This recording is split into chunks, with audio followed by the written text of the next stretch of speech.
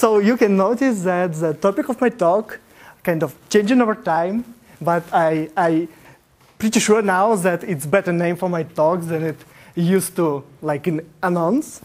Yeah, and today we're gonna have a very, very technical talk.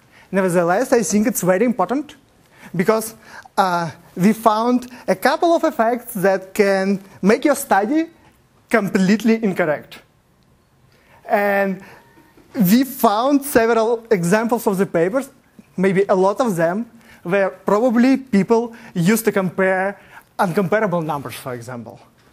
So let's, let's get started. Oh, it's not really working. Huh? Yeah.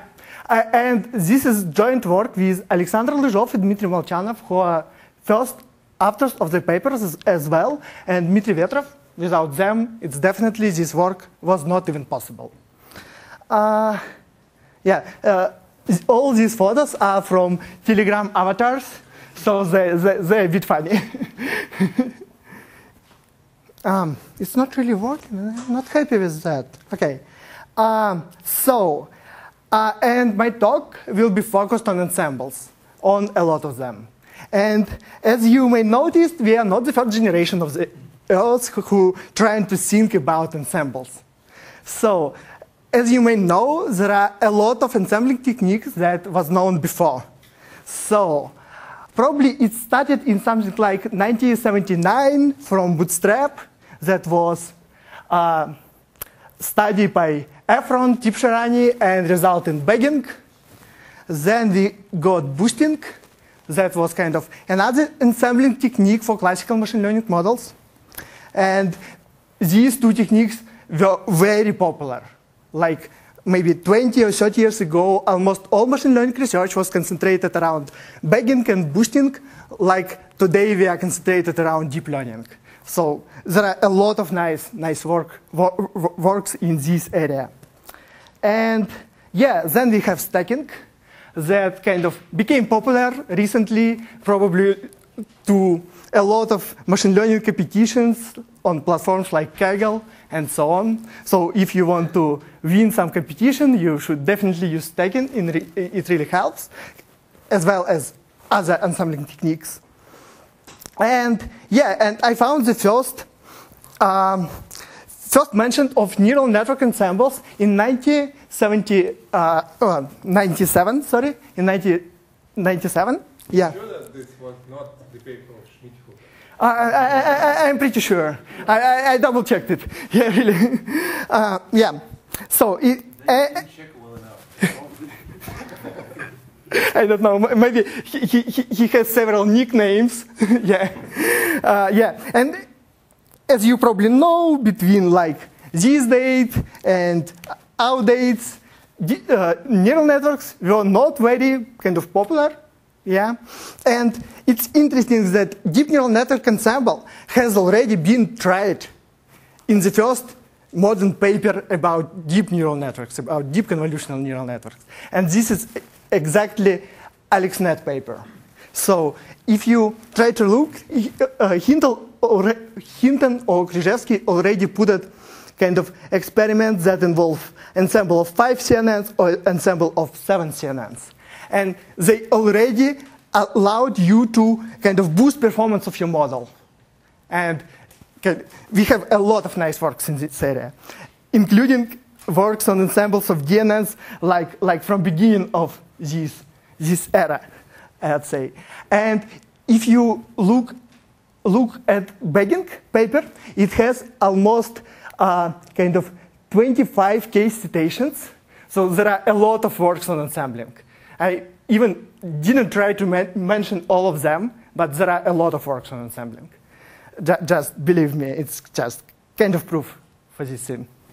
And yeah, and what we understand as an ensemble of deep neural networks today is a very simple scene. So we have a, some neural network which is, for, let, us consider some classification problem, just simple classification problem. And we have some neural networks that can look at our object predicted distribution over classes, uh, and yeah, it, it, has some weight. Uh, so, and we try to average prediction of, of, our model across distribution of computational graphs in generally. So you can think about it as about distribution in the weight space of deep neural networks. But generally we have a distribution over computational graphs, and that's it. It's kind of very simple, and yeah, linear combination of probability distributions are probability distribution if we have these weights that are sum up to one. Yeah, and that is very, very simple thing. And moreover, we have a lot of ensembles today, a lot of methods for building ensembles. And yeah, uh, and it's really interesting how all they compare to each other. It's not very clear. So we have a lot of methods. They all, in some kind of sense, trying to approximate more or less similar distribution, I would say. So imagine that this scene is loss of our deep neural network. Just imagine it. And this axis is the first parameter, and this axis is the second parameter. We have just two parameters in our deep neural network. And in some sense, all these methods trying to cover good um, kind of region of, of this distribution, of, this, of this uh, I, I would say, parameter space. We try to cover regions where our loss is small, and we try to avoid regions where our loss is huge. So the whole idea of ensembling is, okay, let's assume that if we point some neural network uh, that has weights here, and um, I really like to uh, kind of use my hands to show up, but I cannot move beyond this table. so I'm not really feeling comfortable with it.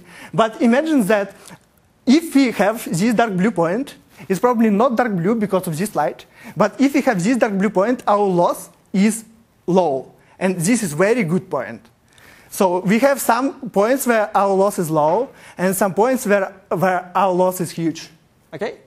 And the whole idea of these methods is that imagine that you have two n parameters, and n is the number of parameters in your deep neural network. And if you put two neural networks at the same point, it's not really reasonable because you, you will have two the same two same functions. And if you put these networks in some different points, probably you may get some some benefits of it because you average across different functions.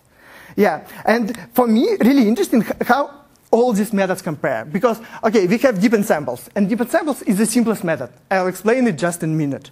It tried to uh, take a lot of delta functions and put it in all modes. Like independently trained networks, we just train neural network, put it in the mode, yeah, and that's it. And then we average all, all this stuff. And we have our, our, our very best variational inference methods. And uh, uh, it's not, not, not, not, very funny, but we, we, we should understand how this method can be compared to another method. And what is the maximum, maximum uh, performance that we can get if we just use one mode versus a lot of modes. So there are a lot of questions for me, uh, and I'm trying to ask myself about it. Yeah. Just one thing Oh, great! all the methods you've listed here are means or averages or combinations of independent models. Or things like no, not, not really. I'll explain it later. Not really. But things like boosting, for example, are ensembles models which are explicitly constructed to help each other. Uh, yeah, but I, I, don't know any good example of applying boosting to deep neural networks. Yeah, I know, but I'm just saying that like, like, like here are ensembles of, of maybe independent models. Uh, they're not independent. They, they're dependent. Deep ensembles uh, yeah, that's the only one example. let's address later a bit. Yeah, and so the, the motivation is let's try to understand what, what, really works the best. We already have a lot of research, a lot of methods. Let's try to understand what, what happens in this world. Uh, yeah, and to do so, we need to understand how can we evaluate quality of ensembles. Yeah, it's, it's very reasonable thing. And the first thing we can do is just read a lot of papers and ju just look at metrics. And the first metric to evaluate quality of ensembles is accuracy. And it's super reasonable. Like we, we are try, tr trying to come up with better model. We sh should definitely get some superior predictive performance of this model. Yeah, and there is no question about, about this metric. And yeah, and then we have a log likelihood on a test data. So it's, it's known for a long time as a measure of uncertainty. Like you never should assign very small probability to correct answer. Because if you assign like zero probability, your likelihood on your test data will not be very good. And we have a Brier score, which is really similar, and they are both measures of predictive performance and uncertainty. And we have a calibration, uh, like calibration score, and it measures uncertainty of our model in some sense. I'll explain it a bit later. And we have a misclassification detection, which is kind of nice downstream task. We should probably understand when our model make a correct prediction and when our model just failed. So we should, sh should understand when we can trust our model or when we cannot trust our model. So this is a simple set of metrics.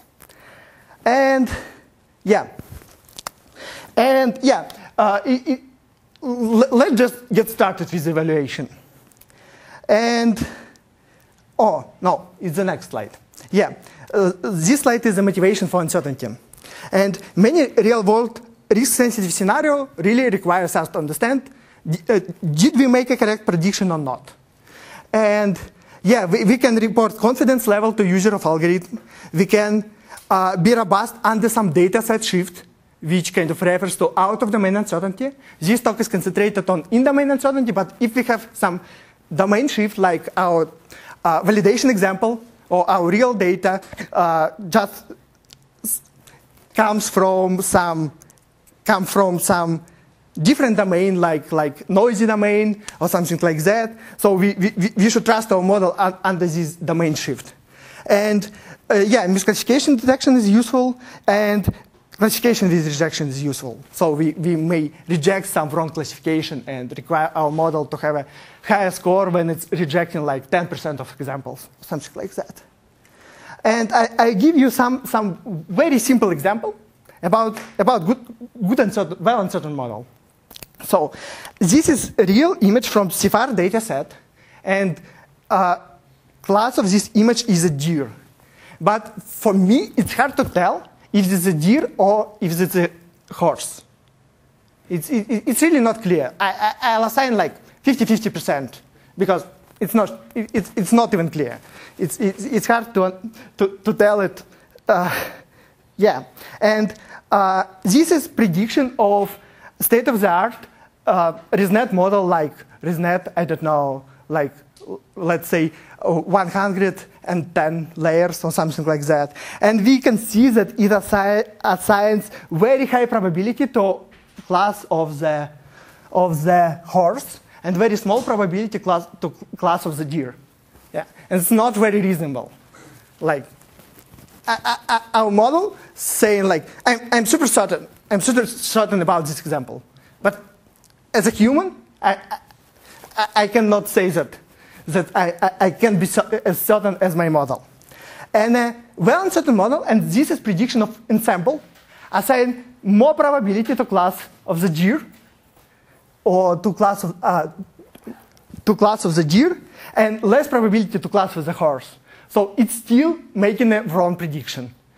But kind of, and say, okay, it, I, am not sure. May, may, most probably it's a horse, but, but still it's a pretty high chance that it is a deer. Yeah, and that's it. And Brier score and log likelihood measure exactly this. So log likelihood on a test data is just uh, our conventional cross entropy, cross entropy loss, minus cross entropy loss, sorry. And Brier score is uh, kind of L2 uh, distance between correct and uh, between ground truth and between model predictions.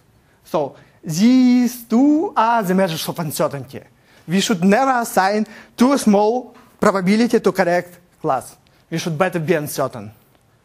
Yeah, and that's it. Uh, that's very introductory part. So let's start our evaluation. And what is the simple ensemble we can get? Like the simple to train, the simple to come up with. Uh, and the idea is that we start from some point. Just, it's again uh, first parameter of, our network. This is the second parameter of our network. We have just two parameters, and every point on this plane uh, is a deep neural network with certain uh, set of parameters. And if we have dark blue loss, it's an optimum of our loss. It's good point for us. And if we have light green, uh, it's an area where we have high loss. So we start from some point. It's not really having a good loss. Then we apply stochastic gradient descent and come up with solution. Yeah, as simple as that. And what deep ensemble is basically saying, like, let's try to train a lot of independent networks. And we will cover several modes. Like in case if we train five networks, we will cover several, several modes in our loss landscape. And yeah, it's, it's very simple. Let's then average predictions of these predictions of these networks. Uh, is it clear? Cool. Uh, so, uh, first of all, we should already know that accuracy, if we have some accuracy that improving if we ensemble our models, it is great. Let's just take a look at accuracy. And red line denotes accuracy of single model, and blue line denotes accuracy of ensemble. X-axis uh, represents the number of samples. So here we have one sample, here we have 10 samples, and here we have a lot more, like 50 samples. And this is, uh, uh, sorry? Is it logarithmic scale? Yeah. Yeah, you, you can notice. Why the, the, the accuracy of the ensemble with just one member is, is less than single model? Uh, so I, I- I guess it's some standard deviation here. I just didn't plot it. Yeah. So uh, yeah, these values are definitely very close, but you know we have like a bit over 76% of top one error here for standard ResNet that is taken from PyTorch, from Torch Vision maybe, and we have over the 3% of uh, growing inaccuracy just because we trained an ensemble of models, and that's really cool. Just really, you train a lot of models, then average them, and you get a better performance. Let's say now for now for free.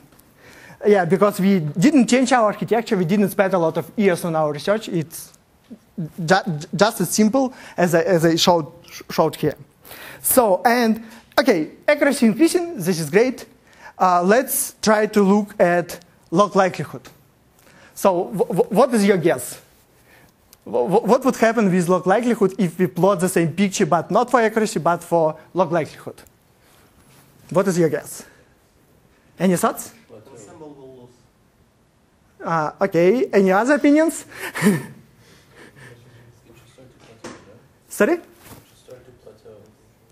Uh, not really. It's also increasing. it's also increasing, and uh, it's increasing by a lot, by really a lot. So it's huge gap for ImageNet dataset, and we definitely having it for free.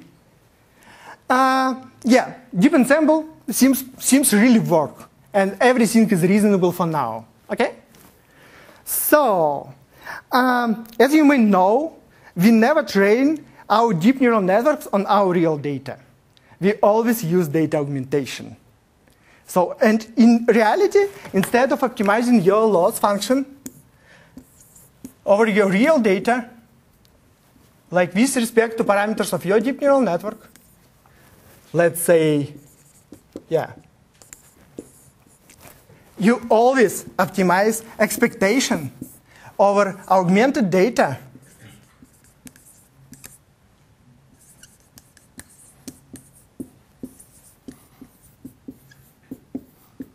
With respect to parameters of your model.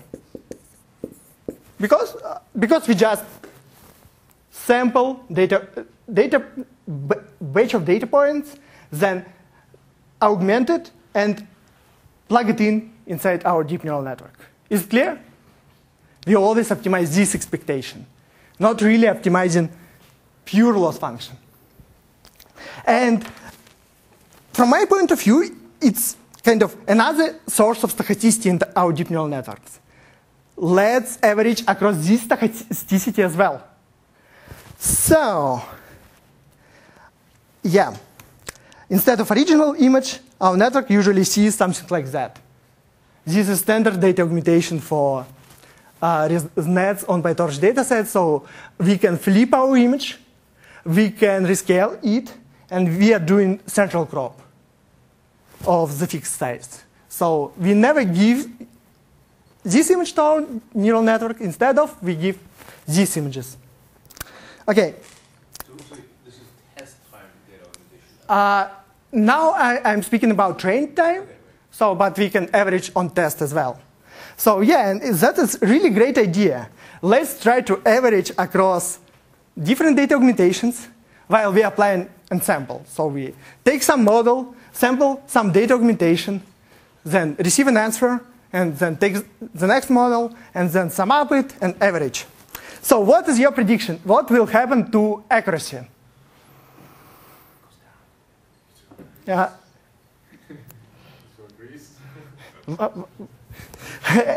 Why do you think so?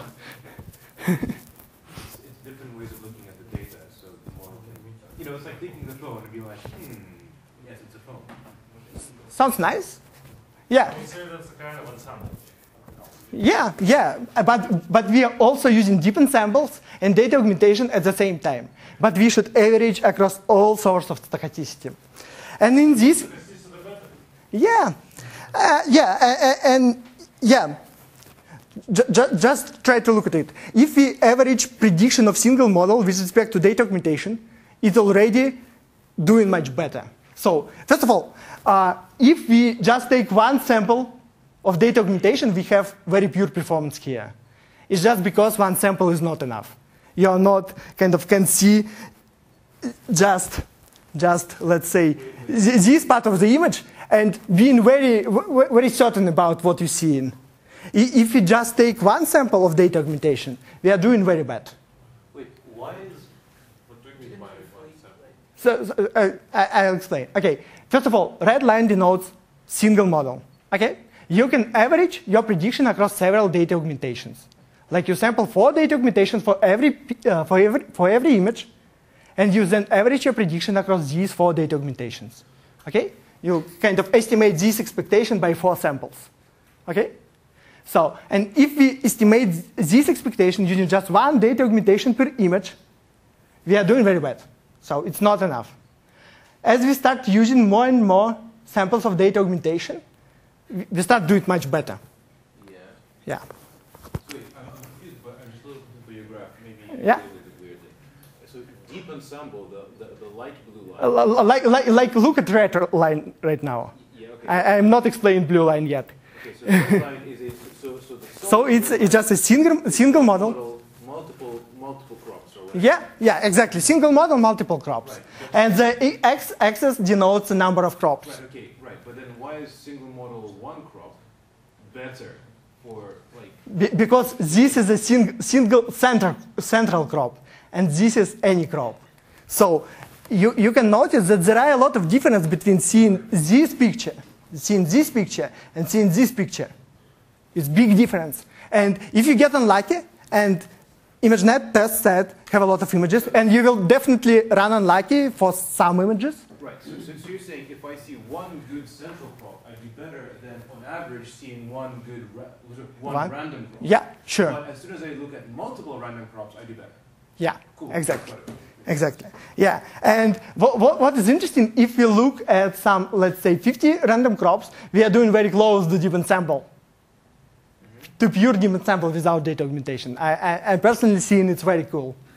And, as you, uh, and then we apply this data augmentation trick to deep ensembles in the following way. We just take one network. For one network, we take just one, uh, one data augmentation, compute predictions, then take next network, take new data augmentation for the next network, and compute prediction, and so on. So we have one data augmentation, sample of data augmentation for one network.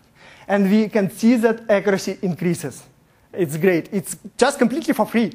Now it's really for free because we already computed our, uh, uh, our uh, model on the test data like 50 times, and we just add some augmentation and already increased our score. And thi- this is cool. This is really great. It's completely for free, comparing to deep ensembles. Okay, and let's just try to look at log likelihood. What is your guess? What, what would happen to log likelihood? So we are definitely notice some increase in accuracy. What would happen? And I want to hear some arguments from you, from all of you who don't know. so let, us do, do some learning. So accuracy increases, likelihood increases, yeah? Yeah. Accuracy increases, what will happen to likelihood? Are we computing likelihood on the augmented See, I'm looking for a plot twist. on the original? Or on, augment, on augmented, but we still average our prediction across several data augmentations. Because on training, your, your general popularity, or, or kind of your data, was not, not, not your original data. You trained your model on your augmented data, so it's more kind of close to your training process, even. Yeah, so any guesses? increases. Uh, who thinks so? Raise your hands. Yeah, I, I, I used to. so, yeah. And as we can see, we have worse likelihood than we used to have with deep ensembles. So it completely doesn't make sense. So our blue line is now, our augmented deep ensembles is now below our deep ensembles. So we have worse model. Uh, maybe we just need to have uh, more samples, and then the situation. Uh, maybe, but, but, but, but, but you know. Uh, you, uh, you see, uh, the, the red line versus the, the rose line uh, at a larger number of samples than. yeah, yeah, yeah, definitely, but. I, I would say that quality of deep ensembles will increase as well. Will, will increase as well. How, how many samples do you have in total? Uh, this, this is 50 samples. A lot. But, but you, you, you know, it, it's some kind of weird situation. It's some. The reason could be that you're actually that you're, you're no longer measuring really the likelihood of the same sample. See, it's it's one thing to increase the prediction on that, like like. But but we're interested only in predictions. Uh. Yeah, yeah I, I just changed my model. Data augmentation is a part of is a part of a model. Let's consider this to be a just part of our stochastic right, computational graph. Whenever we do any kind of averaging, our, our, the distribution which we get in the end is always going to be less, sorry, more entropic than uh, of a single. Okay, okay, it, it, it, it, it, it might be, it might be. Becoming underconfident. Uh, it's not completely true. It's the opposite direction, surprisingly. So you're saying it's overconfident? Wait, yeah. Ah, wait, wait. yeah, yeah. More confident should increase. Uh, yeah, yeah, yeah. Just wait two slides, two more slides. So, uh, but, but you can see that it completely doesn't make sense. So we have superior predictive performance, but we, we have worse uncertainty. And it's kind of, okay, likelihood, likelihood should probably to be really correlated with accuracy because we always tra train our networks using just cross-entropy loss, which is exactly likelihood of our data. And yeah, and here we see this, this weird effect. And it's interesting to answer wh why it happens. It's not clear, but we definitely want to have a better uncertainty and better accuracy. It's our kind of blue dream. Uh, and we try, try to play with it. We tried a bunch of stuff. We tested several hypotheses. And we really happened to find an answer for it. And the answer is we just broke our temperature. I'll explain.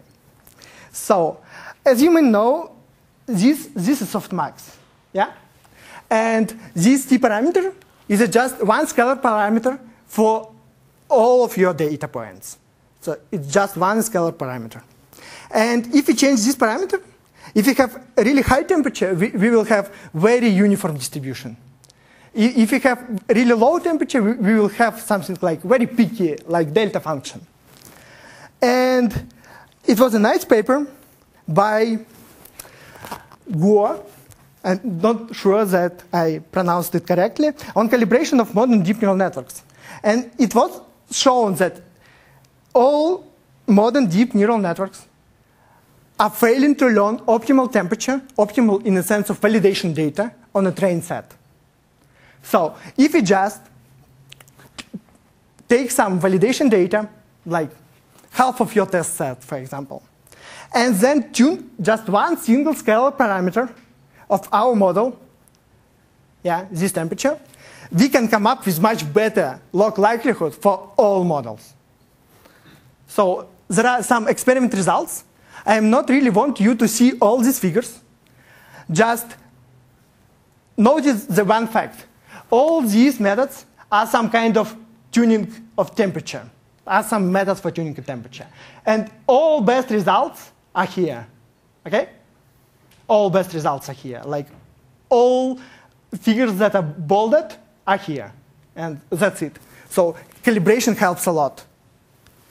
Uh, and uh, the best method here, for example, not much uh, differs from a best uh, from another calibration method, but difference of any calibration method from original is, is really huge.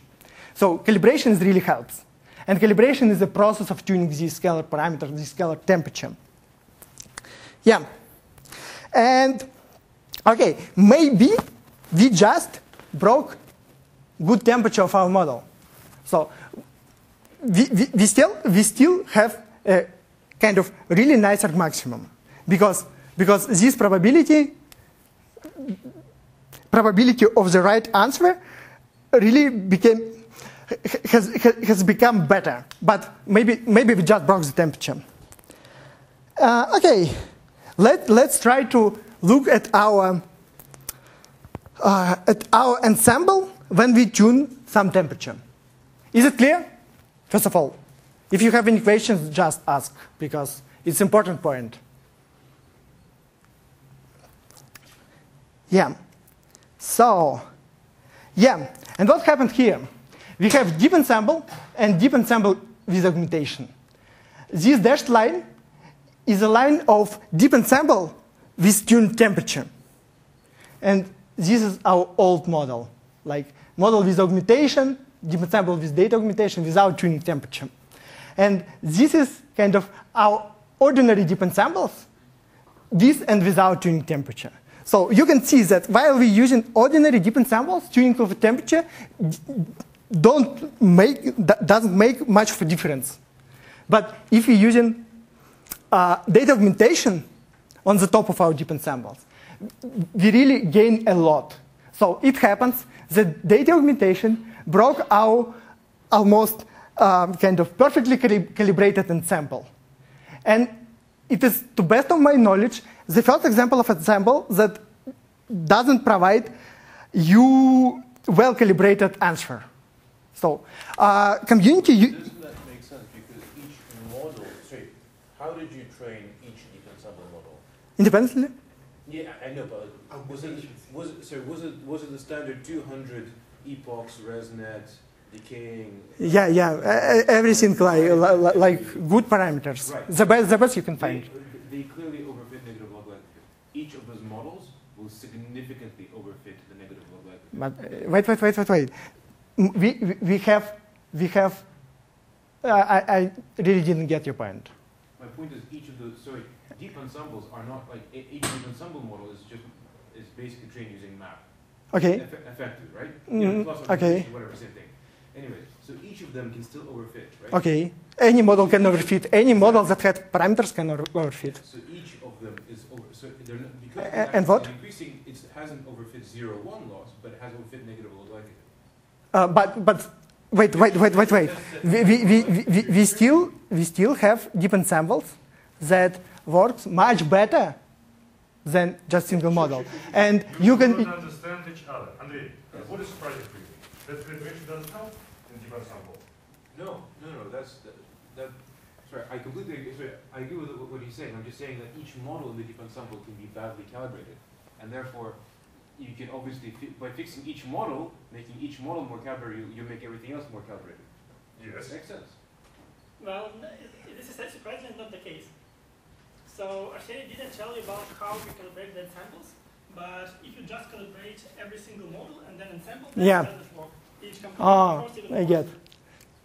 So, so we calibrate ensemble here, not every single model. Ensemble.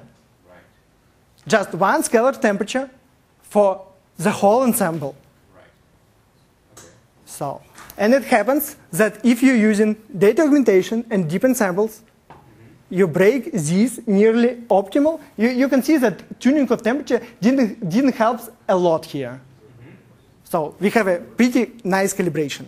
Yeah? So if we apply data augmentation on the top, we break this nice calibration. And we now kind of retu- re- return it back. Just by tuning this one scalar parameter. So ensembles not always provide you good calibration. Community, before that, community used to think that ensembles are always calibrated. There were a lot of proof of that, kind of experimental proofs, that ensembles are always calibra- calibrated. And it is not the case. So, They're more calibrated than a single model. not always. Well, basically, we couldn't find any single paper where they did some kind of ensemble and then tried to calibrate this model. Not a single paper. Yeah, and even more, if your temperature happened to be non-optimal completely, like you can have really, really good uncertainty, and your temperature happened to be bad, you can really get any ordering of your methods. Like I, I can set very bad temperature here for any method, and then I can shuffle my methods in the table eh, eh, eh, as I wish. So it's not fair to compare models at non-optimal temperature. And that is our first finding. So if you compare in log likelihood of a model that is defined uh, kind of, that can differ so much with changing this one scalar parameter, you have to choose it optimal for every model. Because now we do not understand if you can learn optimal temperature on train set or not. So we have to tune temperature for every single comparison. Sounds convincing? Uh, have you found like results of this like, broken temperature for other ensemble methods? I mean, here you show that like uh, the deep ensembles, just deep ensembles, uh, learn like good temperature, Mhm. but uh, like the augmentation ensemble. Uh, it is most noticeable effect here, right here. It's most, most noticeable, but all results can change. And there are a lot of okay, slightly changed results. So, and yeah, ordering of your methods, if you have a lot of methods, may change So ju- just because of this temperature. So this may help like this temperature may work for different. Yeah. Yeah, yeah, sure. You, you, you are not kind of having any guarantees on learning optimal temperature for validation data on your training set for, for kind of for, uh, for true data distribution. So we have no guarantees. Yeah, and that's it. And addressing your question, the temperature here was uh, kind of too low, so, so, the optimal temperature is greater than one. Okay. So we are still overconfident, surprisingly, for me as well. So, of a single model or, or For, for ensemble, sure. for this ensemble, we are still overconfident, so we, we uh, kind of, the optimal temperature is, is higher than one. Okay, yeah, yeah, yeah. Sure. That, that sounds good. Yeah. So, uh, yeah. Uh, but what happens with accuracy when you uh, calibrate temperature? Uh, nothing, accuracy does not depend on this temperature. so we can compare in case of accuracy without any calibration. Uh, yeah, yeah, sure. So uh, this thing that, that doesn't change our maximum of our softmax, so you're fine. So accuracy that, that does not change at all. Excuse me, Yeah. it might be a stupid question, but Yeah, what if you look. made your temperature a trainable parameter? Uh, so you, you have it as a trainable parameter because if you multiply your weights in your last layer by a constant, you will multiply this, uh, it, it would act as a this temperature. So hypothetically, your network can learn it. But uh, our deep neural network on a train set always kind of overfit, overfit the train set. So we are always having like perfect accuracy. And so that's why optimal temperature on the train set is kind of very, very high, so you have a very, very peaking, oh, very low, low. You have a very peaky distribution. Yeah. So you pro- probably there is some way to learn this temperature on a train set, but to best of my knowledge, So you kind of learn it and then you calibrate it on validation. yeah, it's completely post hoc. Yeah, we, we're using validation data to calibrate it. Yeah, and this is the first finding. And the same applies to Brier score, because Brier score also kind of acting ve- very similar to log likelihood. It's also kind of estimating correctness of our probability distribution. Yeah, that's. Is it all clear for now? Because we'll change topic a little bit now. Okay. And yeah, that's, that's all for um, that's all for log likelihood and Brier score. We should com- compare them at the optimal temperature for every single model. And yeah, we have nice, nice problem of misclassification detection. And uh, what is the idea? We have uh, our object, and we can measure some uh, scores of confidence in our classification. For example, it might be maximum probability. So we are saying if our maximum probability is low, like if we have maximum probability of 0.1, probably we are very uncertain about our prediction. Let's say that we are making some error on this object, probably. And the other case is the entropy of distribution. You can see that this, this is distribution with kind of some entropy. It's not a peaky, it's not a delta function. It's distribution with entropy. And we can use these scores as an output of our classifier that uh, tell us whether we make correct prediction or wrong prediction. So our blue dream is taking our test set, taking a, a, a lot of uh, for, for every object, for every object, we have some confidence score. Uh, let, let's say that it, it, it is a maximum of probability now, max p, y given x. Yeah, and if this score is high, if we have a high max probability, it's probably going to be correct classification. And if we have low uh, confidence, it's probably going to be not correct classification. So it's kind of binary classifier. Like when you're computing some metrics for binary classification like AUCs, your classifier should give you just one number. Co- uh, like confidence in probability of or confidence seen be, being uh, right classification or wrong classification. So, and we, we wish now compare our models in, in terms of distinguish uh, between their own correct and wrong predictions. Is clear or not? Asking, asking questions. Yeah, we have something like that. So we have this. This is our test set. This is high confidence object. This is low confidence object objects, and this is our binary label, correct or wrong prediction. And we may compute some metrics of binary classification for this for this problem. Like, yeah, just compute um, uh, area under the curve, receiving a predictive curve. And this, this, is, this is the metric, metric of our binary classification.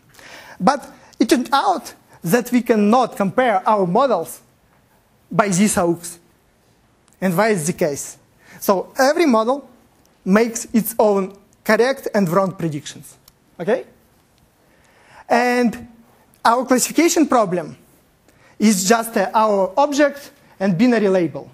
So if we would compare different models with respect to any classification metric like accuracy, like AUCs, precision recall AUCs, or something like that, we would compare these metrics between different data sets. So it's, it's not comparable values. You cannot compare accuracy between MNIST and ImageNet. They are not comparable. So this, for every model, we have its own kind of vector of labels. So one model may have accuracy like 90% and another 80%, and this is two completely different classification problems. Right, but why not take just the intersection? Uh, because you're losing something definitely. Be- Uh, a lot of them will probably. Like, well, actually, have you looked at whether they make many of the same mistakes or not? uh, I, I I looked at What is the percentage? It, it depends. It, it, it really depends on the model. But uh, be- because i- i- i- if you just, just take an intersection, you, you, you definitely lost a lot of points. Sure. And I don't know how these points may influence your model. I, I just be- don't know. Interesting, like, Yeah, yeah, it's interesting. there if you just took the intersection of points. I- I- It's interesting. It's interesting, but I'm not super, super sure that we cannot come up with some example where these produce some kind of, some kind of wrong answer from, from point of view of our intuition. Yeah, so basically, uh, like another question that we could ask ourselves. Well, okay, fine. Uh, let's use something like AUROC, and then okay, we want to obtain an, uh, some ordering of the methods. Like our method should be better than all others. Let's select a subset of points such that our method will be better than others. Can we select such a subset of points? I think maybe yes. Yeah, i- i- i- For I think the ordering for different subsets would be different. Mhm.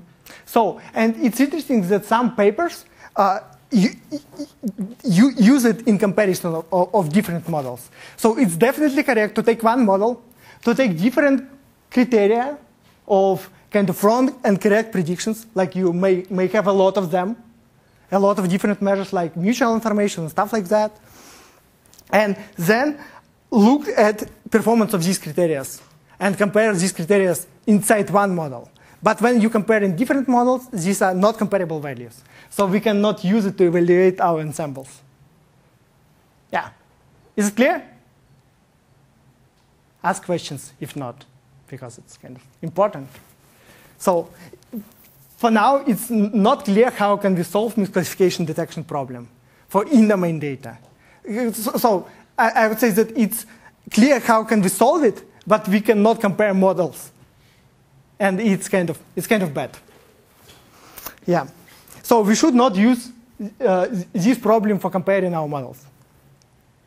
Yeah, but uh, without domain detection, everything is great because you have your data set, your in-domain data has, let, let's say, zero label, your out-of-domain data has like one la- la- label of one, and these labels are fixed for every model.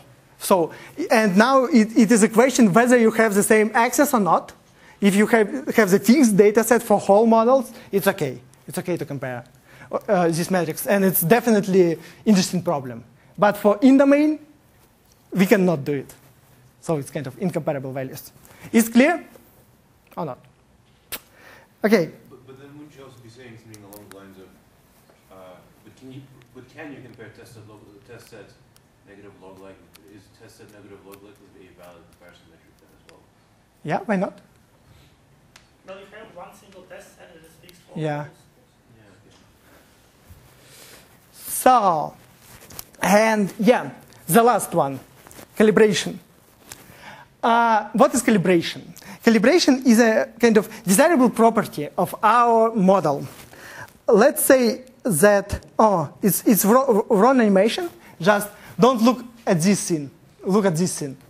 It's uh, wrong or- ordering. So if your model uh, should tell cats, dogs, and birds, and uh, you have uh, answer of a model, like for all points that your model answered the following probability distribution, like you, you can take a lot of points, and you wish that true distribution inside, inside all points that have this score. Like imagine that you have uh, infinity large data set, like the whole your uh, data, infinity large data set. You can select all points that ha- ha- has a specific, uh, have a specific score of that, and then you can compute what is the real ratio of probabilities inside all these objects. And if this ratio of probabilities of true distribution is the same as the model predicted, then you have perfectly calibrated model. If not, you have some miscalibration. I want you to understand this definition. It, it might be a little bit boring, but, but it's actually really cool. Actually, really cool property, if we have it. But if not, it's not, not, not really great. Because if our model uh, says that, okay, uh, we, will have all cats and dogs, and instead of these, we have a lot of birds. Our, our, our model predicting wrong probability distribution, and it's bad. Okay? Is it clear? Is it clear what, what is uncertain? Uh, what is calibration? Yeah. Can you please explain uh, Sure. what is the difference between this definition and the one which is like uh, P model of X is equal to P data of X? Mm, What is the difference? It's the Difference. I think it's the same. Is it the same? It, it basically means that in expectation over the entire over the entire real data set, you've minimized the KL divergence between the model and the real data set. I'm not sure.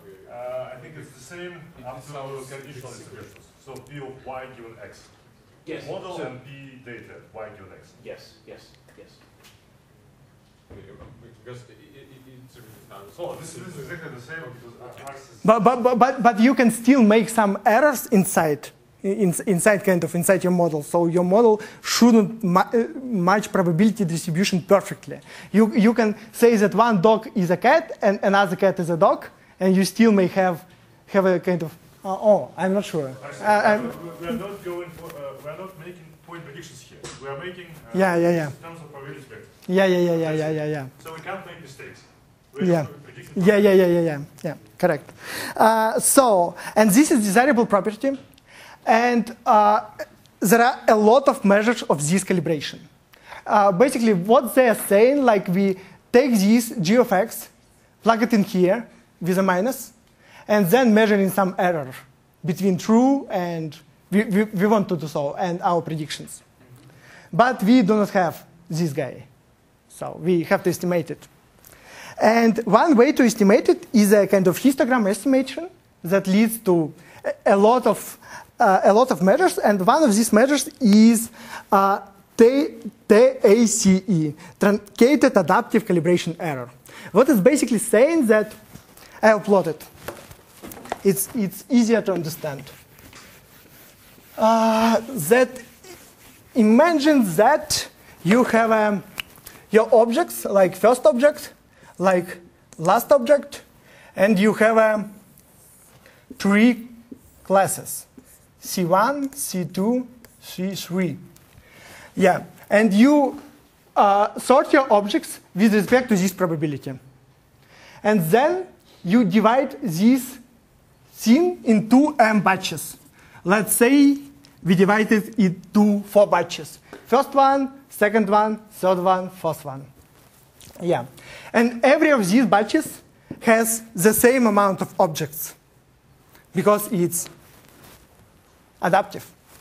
Yeah. And then what we are re- really measuring here, we're taking uh, mean confidence inside one. We, we, first of all, we sum up across all classes and across all batches inside every single class. We take, the, take this, this thing, this one, uh, batch and compute, compute this thing in, inside one batch. First of all, it is normalized, so we kind of divide uh, size of this batch to n, and if we just do an adaptive, uh, error these weights are uniform. I, I'll explain. I just didn't tell. Yeah, and what we really want here, we want that if, let's say, this is 1.5 and this is 1, po- oh, oh, oh, sorry, 0.6, 0.5 and 0.6. Uh, we want that probability of all objects that are inside this, inside this batch to be in class C is uh, uh, be between 0.5 and uh, 0.6. So we, we, we are expecting probability of object to, to be inside this scene. Ah, so it probably sounds really, really unclear. We, we, yeah, exactly. And, and we, we are kind of want to measure. L- let's consider this interval kind of in more detail. So you have 0.5 here, 0.6 here. You have a lot of objects here. Yeah, and uh, you can measure mean of this thing inside inside this batch. And let's imagine that this mean is 0.57. Yeah, just something like here. And this is mean of all your confidences. And you expect to be real ratio of this class, of this class that we are considering in this, in this bucket to be exactly mean of your confidence.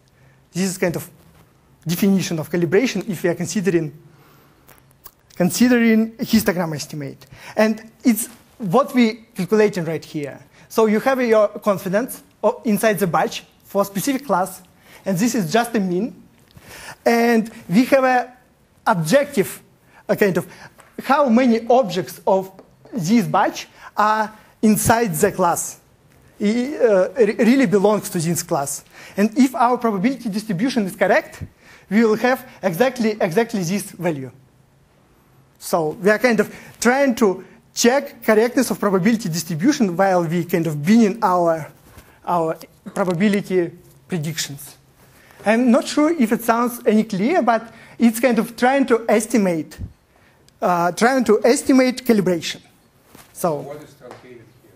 uh, yeah, and tr- truncated is like we do not take into account some objects that has uh, uh, kind of really small predictions. For this interval, it's not important, but if you consider in something like uh, from zero to zero, one, like a really small interval, uh, they propose not, not just to take into account some small probabilities just because they might be noisy. Yeah, and that's it.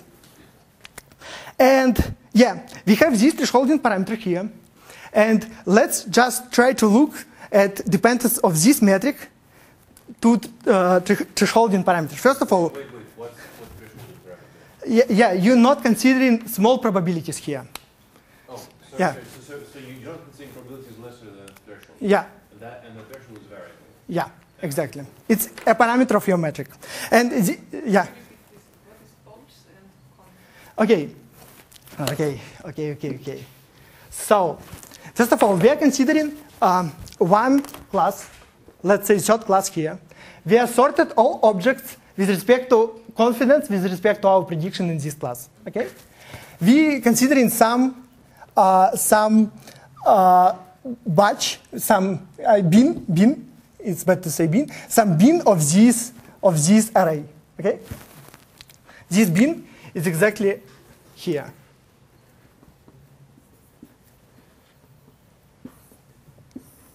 Yeah, just considering it.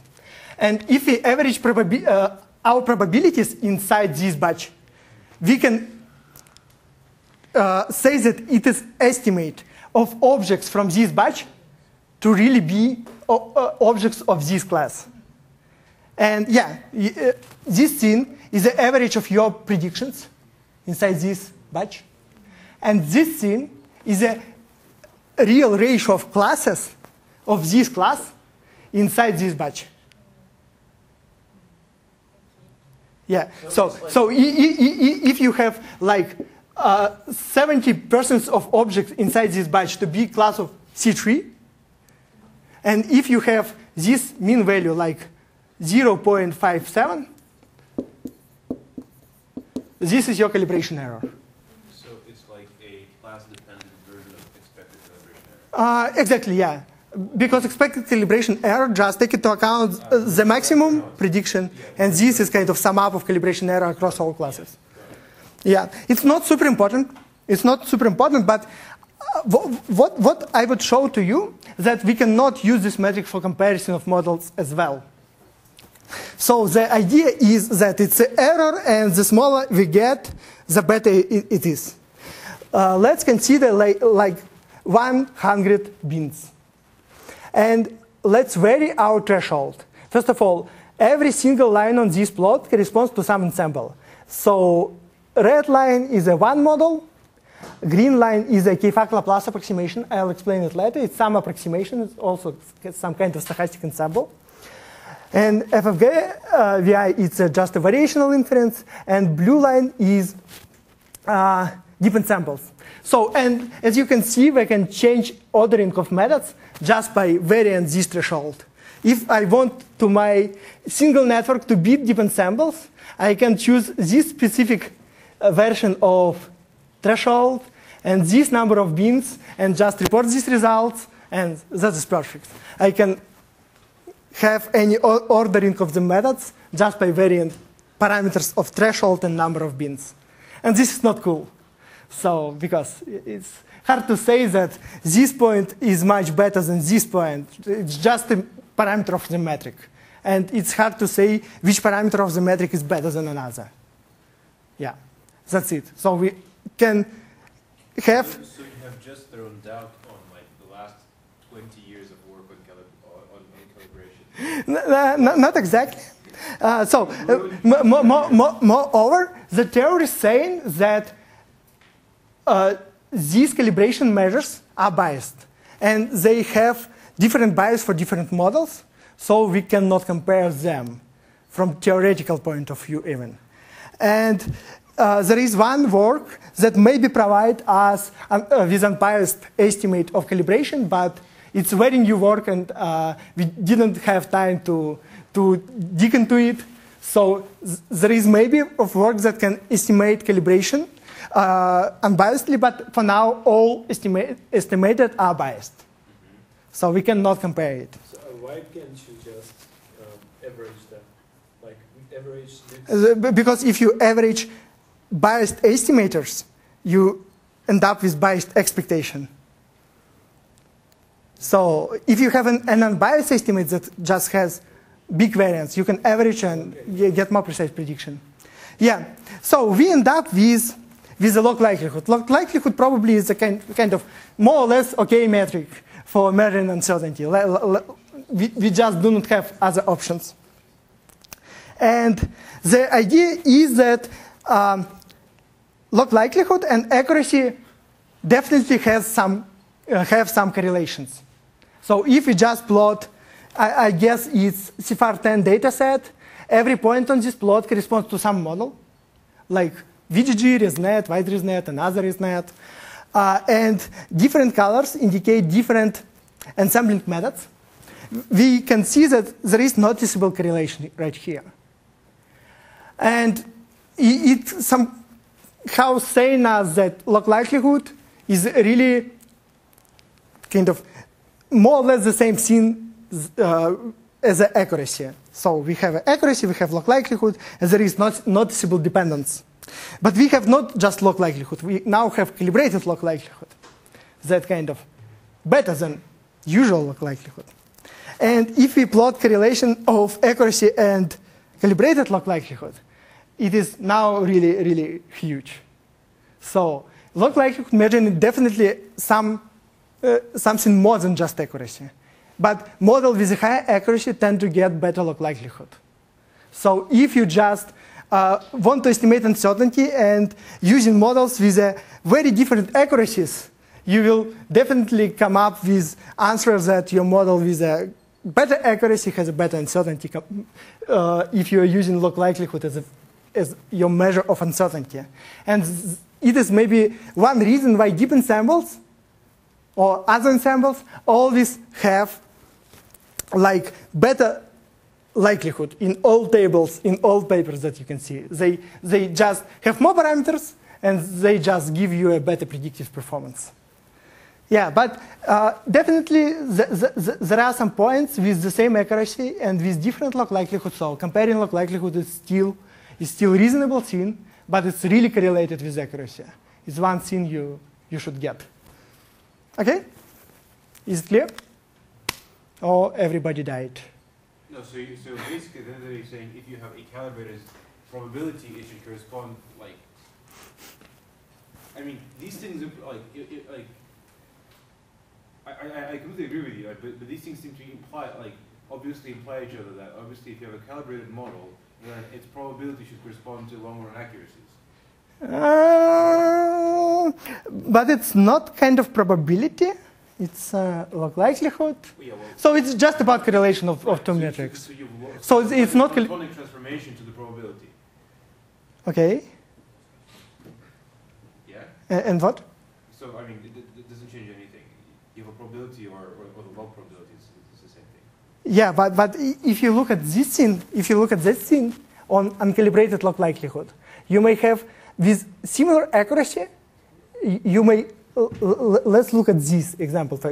Uh, so with similar accuracy, we may have a lot of difference in log likelihood, but when we look at calibrated version here, this difference disappears. So I, I'm just saying that if you calibrate your, log, uh, your model, Sure, I, I, I completely agree with Okay, okay. Yeah, it, it's not surprising, but it's just a fact. Yeah.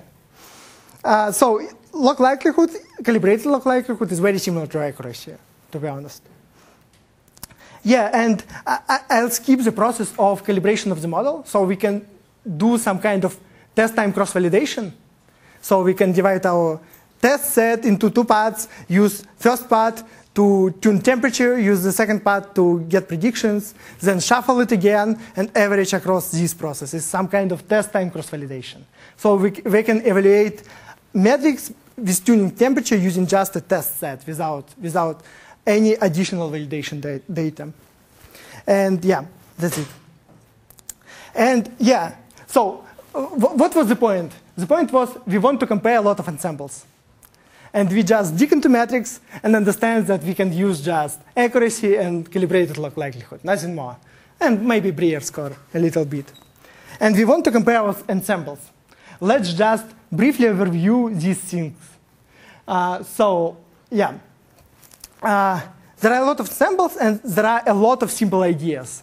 And I'll try to cover all of them or almost all, all of them. So what we have now, we have deep ensembles. And we already understand that deep ensembles are just independently trained networks. We just cover different modes of this distribution with a kind of mixture of delta functions. Uh, and that's it. That's very simple. Then we have a snapshot ensembles. Uh, and the main idea of snapshot ensembles is like, let's use a cyclical learning rate to train our ensemble. So what, what, what ha- happens? First of all, we just start with some random initialization and use uh, cycle learning rate, let's say for 50 epochs, to train our first model. So we definitely come up with some, some good point here. Then we use this initialization and increases, increase our learning rate. And uh, we jump to some another point and then converge to another mode, probably. Jump here. Then increase our learning rate again and converge to some another mode. Oh, oh, or we cannot. So the, the idea is that when you jump, if you jump not long enough, you may converge to the same mode because it's kind of uh, li- li- like school physics analogy. If you make a jump, jump here, then you come up with the same solution again. But if you jump here, you maybe come up with, with the different modes. So you're kind of uh, training ensembles more efficiently because uh, now your cycles are short and you kind of reuse your previous good point to come up with a kind of new network, but you may come up with a, a lot of similar networks. And yeah, Also, isn't there something about uh, sorry, minima which are close together may, may be less diverse than minimum which are far away? Uh, it's l- l- for me it looks to be true, but I didn't check this directly. Also, this tends to work within the same. So, uh, so neural networks have many symmetries, right? Yeah. So this, t- I, I, I'm guessing this works within this the same set of symmetry. It's, uh, I don't think it changes symmetry of the parameters. I, I'm not really get it. Okay, let's discuss it afterward. So the idea is that we kind of reusing our previous initialization to come up with new ensemble, with new network, with new member of our ensemble, but we may end up with a similar, similar solution, with similar function that is kind of close to our. We kind of assume here that uh, deep neural networks from different modes provide us with a more diverse solution. And yeah, if we have two networks inside the same mode, yeah, we, we better describe this mode, but it's bet- it would be better to describe some another mode. Yeah, and this is deep in, uh, snapshot ensembles. So it's kind of faster, but it's not necessarily better. It may be worse, we don't know yet. And we have cyclic SGLD. It's kind of MC-MC type of method. So, and it samples from the following distribution. So the, this distribution is distribution or parameters of your network given some data set. And it basically says that you should sample a lot from the points where your loss function is small, and you should sample really rare where your loss function is huge. So, and it was a nice paper by uh, Welling and Teh, who showed that we can use mini batch uh, estimate of this loss function. This is loss function, I guess, minus loss function. Yeah. Uh, so we can use gradient descent, like uh, gr gradient Langevin, like Langevin dynamics, but in a mini batch setting.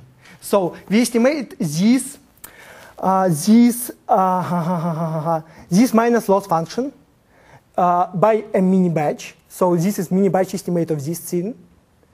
And add some additive noise over gradients. So this is random noise. Yeah, and this is a step size. And this is step size as well.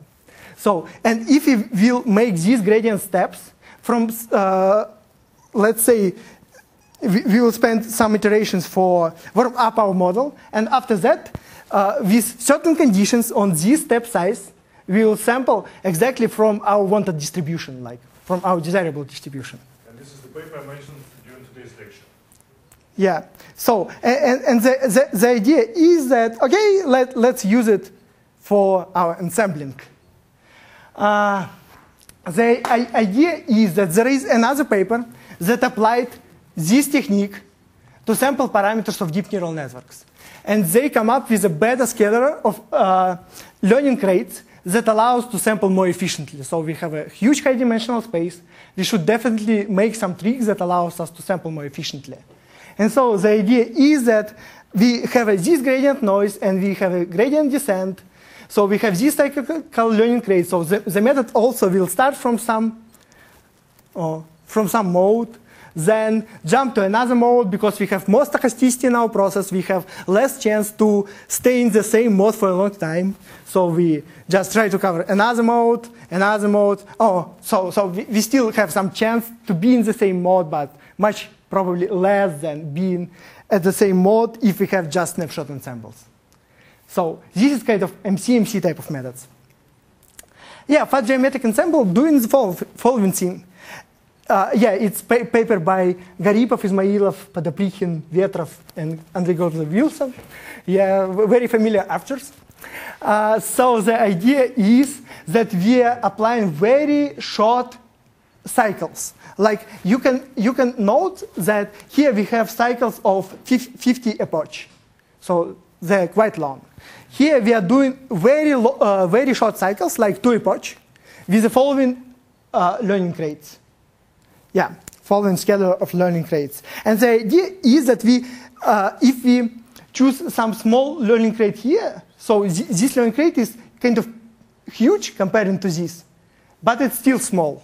We, we, we can explore one mode more efficiently. And the idea is that we will uh, kind of approximate our, our mode with a set of delta functions here. And yeah, it would be better than one network, but probably not as efficient as, as exploring different modes. So we're trying to take one mode of our kind of loss surface and choose several delta functions to describe these modes. So the idea is like that. Uh, yeah, and this was four methods that are based on snapshots. So we are basically, we are basically saving several copies of weights parameters in our uh, of parameters of our deep neural network, and that's it. So the output of these methods are just a mixed distribution over computational graphs that is a mixture of delta functions, and that's it. They're very simple. They're just saving parameters of deep neural network just in right moments. So yeah, there is another type of methods that, for example, take this FG result and fit Gaussian inside, just to try to be kind of more efficient. And then we end up with just a Gaussian. So we can fit one mode with one Gaussian using, using samples that we obtained before. And this works only for one mode methods. It might be more memory efficient, but uh, in practice it is not exactly this method because we are using correlated Gaussian. So I don't have a lot of time for explaining it, but we are using correlated Gaussian to fit one mode. Uh, so we have K-FAC Laplace that basically takes one snapshot and use a kind of Laplace approximation to fit local curvature of this mode and also approximates it with uh, some correlated, correlated Gaussian. Yeah, but, but it, it might underestimate variances, so uh, probably we, we can end up with not as good approximation here. There are a lot of methods, as you can see. Uh, and of course, we can use our, our favorite dropout, our favorite Gaussian dropout, our favorite fully factorized variational inference. And all of them basically learning neural networks under the, some under injection of some noise, and we end up with some approximation of one single mode with a, with a Gaussian, for example, if we are using Gaussian dropout. So because uh, binary dropout is also very kind of similar to Gaussian, so we can think about it as about one mode method. But you, you also may notice that here we need to save only one set of parameters. So we are very memory efficient, but we can approximate just one mode with it. So, and it's big question for me if we can come up with such variational distributions that allows us memory efficiently approximate several modes. And it's a big question for me. It's interesting to answer on this question. So is it clear? So we can either save snapshots or can approximate our single mode with some tractable distribution. So it's probably very familiar co concepts for you. Why not just do deep ensembles and SWAG together? So you do. Yeah, you, you, you can, you can. It, it, it will probably, ah, swag?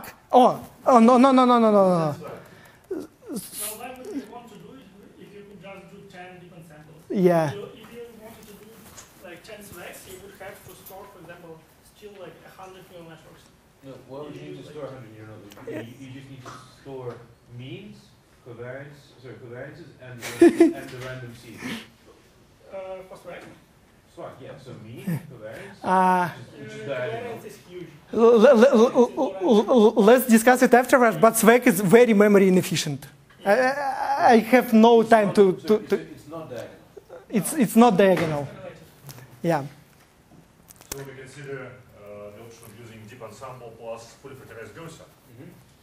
Uh, this is possible, but uh, I do not personally think that uh, it will, will work much better than just uh, deep ensemble. Maybe a little So bit. I, I, I, I think there's an ICLR submission uh, this, this year that Okay, okay, let's discuss it afterwards. We have, tried to combine. we, we, we, we have seven minutes more, and yeah, let, sorry, let's discuss it afterwards.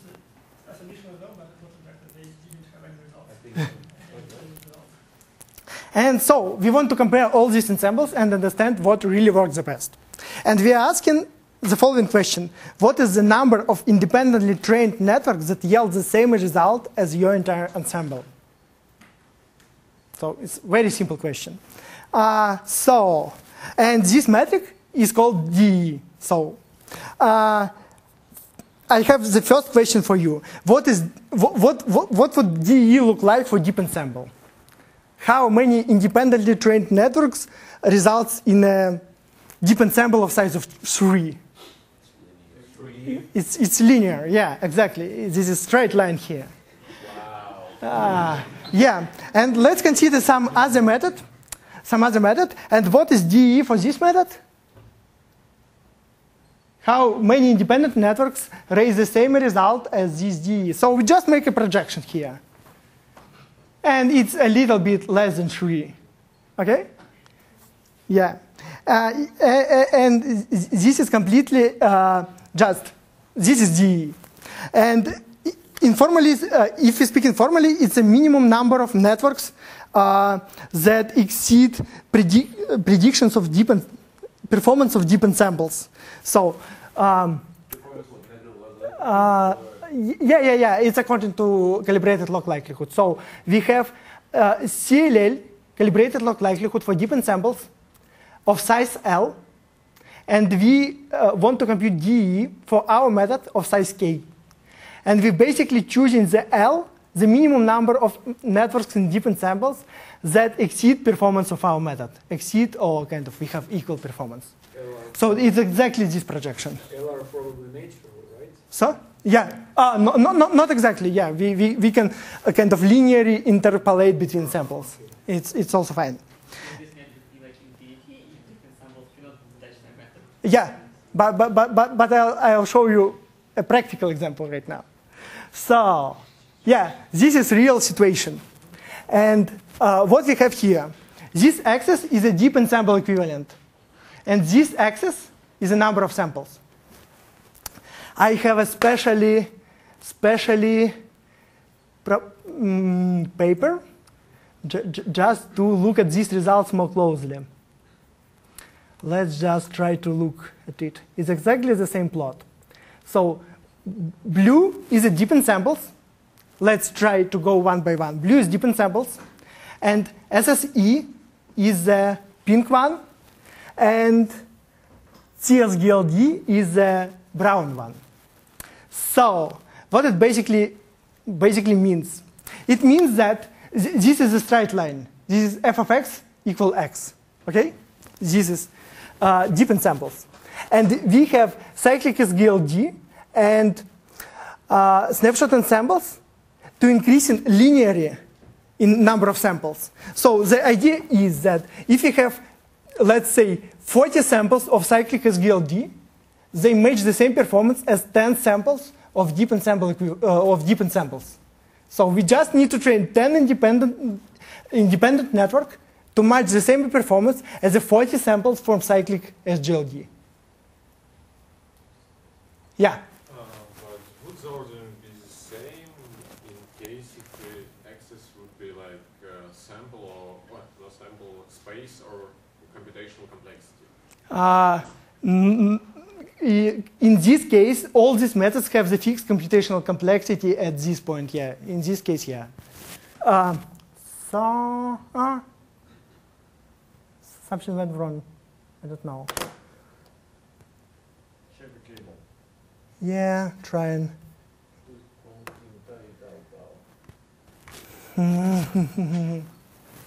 okay. Uh, yeah, probably. Oh, okay.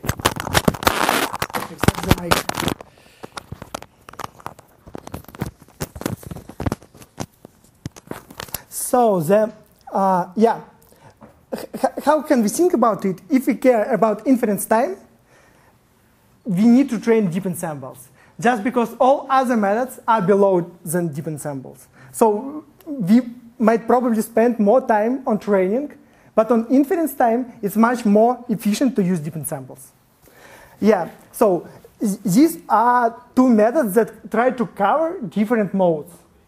And different samples also try to cover different modes, but uh, these we use it as a kind of baseline. Okay, next methods. Fast geometric ensemble tries to cover one mode with a set of delta functions. And SWAG, uh, SWA Gaussian, sorry. Yeah, uh, these two methods, they tr- try to describe one mode and they're doing much, much worse in terms of DE than all methods that just try to cover different modes. So the idea is that it's much more efficient to cover different modes in terms of, in terms of final performance. And yeah, so uh, 100 samples of your fast geometric ensembles corresponds just to six samples of deep ensembles. So we have a huge gap in test time complexity, yeah, here, and we even can achieve better results. And the last group of methods are memory efficient methods, like dropout. Dropout is a uh, orange one, K-FAC Laplace is a green one, and uh, fully factorized variational inference is a purple one. Uh, so they're very memory efficient, and variational inference indeed works the best comparing to dropout and comparing to single model, comparing to K-FAC Laplace right here. But we, we, we- we have a huge gap of performance and huge gap in terms of uh, expressivity of these methods. They cannot just merge the, the gap. So because these models trying to describe one mode in a very memory efficient way. And these methods trying to describe one mode in a not memory efficient way. And uh, I would personally prefer if variational inference would be here. Because kind of, if we can design good distributions, good variational approximations, that can uh, kind of uh, uh, get rid of this gap, it would be really cool. It really means that we have some very expressive variational approximations. But now we cannot train variational inference, at, at least on the big networks, uh, such that it would be good scene to describe one mode, even one mode. What is also interesting here is uh, uh, full factorized Gaussian distribution requires two times more parameters than uh, the, the, the amount of memory required for, for keeping single network. And we see here that the result of ensembling exactly equivalent just uh, using two independent networks. Uh, dropout network requires approximately the same amount of memory as uh, for just single network. And we see that the dropout ensembling really is equivalent to, all, to, to using uh, approximately one single network. So that's interesting. Uh, we we have, uh, uh, observed this experimentally, but I suspect that uh, there should be some nice information theoretic uh, interpretation of, of, of those results. Mhm. I don't think that uh, this was achieved by random. And we basically have more or less the same scene for other data sets. So I, I think that cyclic SGLD here works a little bit non-linear, as you can see, just because the hyperparameter choice. You just use hyperparameters from the papers, yes, and yeah, if you want to tune your method a, a little bit, you, you definitely can make this method to work more or less the same as uh, snapshot ensembles, or maybe better. Well, in the end of the day, snapshot ensembles is a special case of cyclic SGLD. Yeah, with a with a zero noise. Yeah. Yeah. Mm, and then this is not Well, you can change the the distribution and say that it is not German dynamics. Yeah, the, And the, then the, your the, distribution will be dot of function. the, the, they exactly saying this in the paper. So this is a part of their algorithm. I, I, I just read it several hours ago. yeah. Is the fully vectors Gaussian VI basically swag but with only a diagonal Gaussian? Not not really. Not really, because here we j- just tr- train this distribution by inducing noise, and SWAG using Gaussian to approximate uh, snapshots. And these are two different training procedures, so performance gap might be due, just due to due to these different training procedures. Yeah. So yeah, and we can see that deep ensembles is a really challenging benchmark for current ensembling techniques. And it's really interesting if we can if we can come up with some, ensem- some ensemble methods that doing better than deep ensembles, that are kind of uh, belong to belong to this part of the plot. But here, you, but like, the caveat on D is that it's, it, it, is all for a fixed architecture, correct? Uh, uh, sorry, sorry, sorry. It's the same architecture. Uh, the same, like, ResNet 256. Uh, these plots were obtained over averaging across architectures for fixed data set. So you, you might notice that DE uh, kind of define a specific scale for every pair of architecture and data set. So we have DE that does not depend on particular value of a calibrated log likelihood. I, I mean, because you're comparing. Wait, okay. So thi- thi- this is averaging across Okay. four architectures like ResNets, VGG, Fine, fine, but every architecture, I could, I could have like a whole plethora of train of, of um, choices of hyperparameters. I can, so, so you, you're comparing to a particular type of model, so you, you've averaged across several types of, Okay. models, but you're still averaging across a particular model that can make a very bad deep ensemble. Yeah, sure, sure. And But then- but but, we and, tr- then- tr- and then compare using a really uh, but, but but we, we try to make the best networks we can. So of course, if you undertrain your model, you can come up with any I mean, results.